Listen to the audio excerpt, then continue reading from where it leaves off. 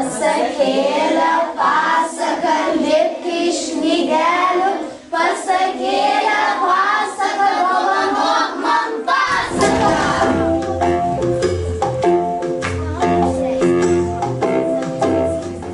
Mano tėtis pats geriausias darbuotojas. Puikiai dirba kompiuteriu. Ir beje, labai mėgsta šukuoti savo plaukus.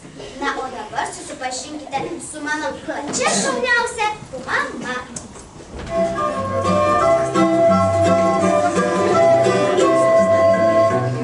Mano mama pati geriausia kepėja. Kai tik iškepa bandelių, mm, visi namai kvepia skaniomis, šiltomis bandelėmis. Aš išeinu iš namų. O kur tu eisi? Pas senelę.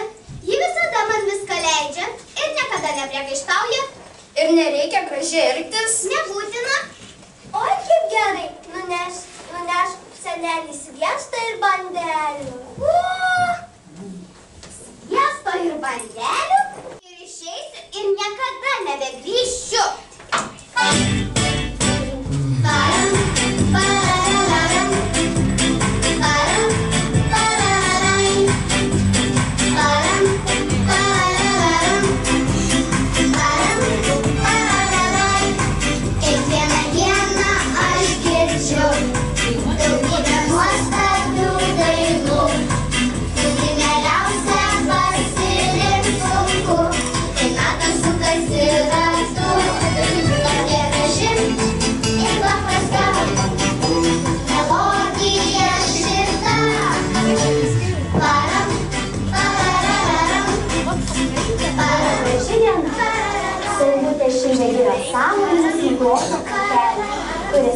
Pas senelį.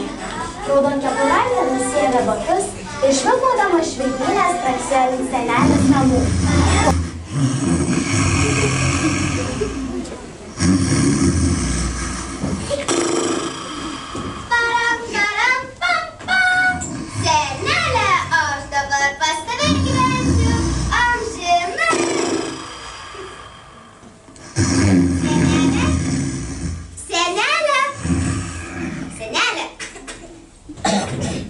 Apėmė didelį baimę.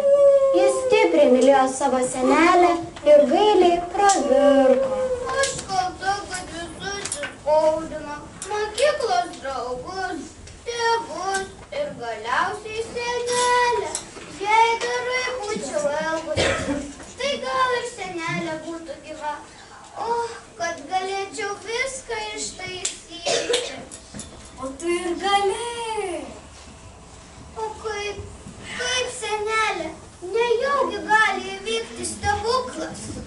Stebuklas gali įvykti. Tu turi paimti gero elgesio taisyklių knygelę ir ją garsiai perskaityti.